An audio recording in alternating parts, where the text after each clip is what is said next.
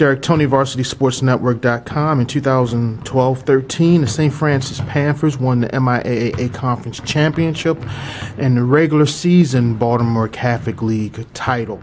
And again, the Panthers will be one of the top teams in the area. And big reasons are in front of me now. Three key guys right here right the closest to me. He just recently signed with the University of Nevada, Las Vegas, Dwayne Morgan. Next to him, Daquan Bracey, a newcomer, a kid that will be looked upon for some big things. And next to him, Khalil Richards, who played last year as the St. Frances Panthers are again getting ready for the 2013-14 season. We'll start with Dwayne. Dwayne, just talk about the first, uh, talk about the off season with this team and the first few days of practice. Um, pretty much all season we spent a lot of time together. You know, working on conditioning as a whole, getting our bodies right, getting our wind up. Um, first couple of days of practice, you know, they've been real intense. You know, a lot of running.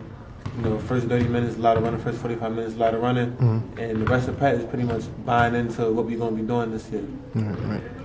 Daquan, talk about being a new face on varsity. You had success on the JV. Now you get to move up to the to the big team. Now, I mean, talk about that adjustment so far.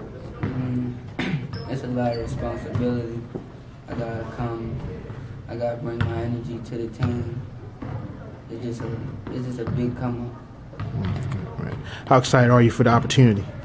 I'm very excited. I've been waiting for this all my life. Mm. And Khalil Richards, you was on varsity last year, got some quality time now. Your role is going to increase as the point guard with uh, Kirk Lee not being back for the program this year. Talk about that challenge. Uh, I have more a leadership role this year, so I have more responsibility. So my go- my goal is really to lead the team. That's basically. In what ways can this team be better than last year's team that had a you know a great season? Um, just basically chemistry. Everybody can play. We, we we still have talent. So I mean, we didn't lose no talent. I mean, that's playing as a team, being unselfish. That's it. Right.